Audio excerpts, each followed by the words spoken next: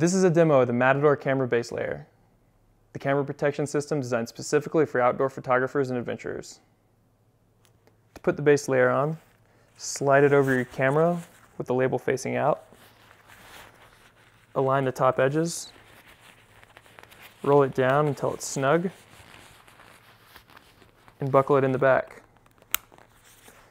The number of times you roll it will depend on how big your camera is. When you're ready to take your shot, just undo the buckle in the back and pull the leather tab down to expose the full camera. The base layer has a built-in rain fly that you can deploy if the conditions change.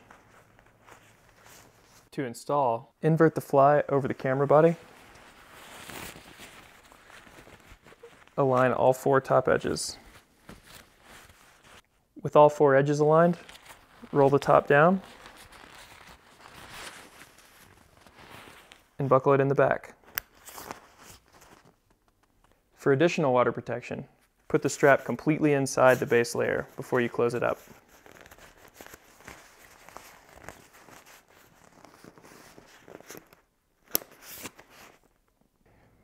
Keep your camera safe and dry on any adventure with the Matador camera base layer.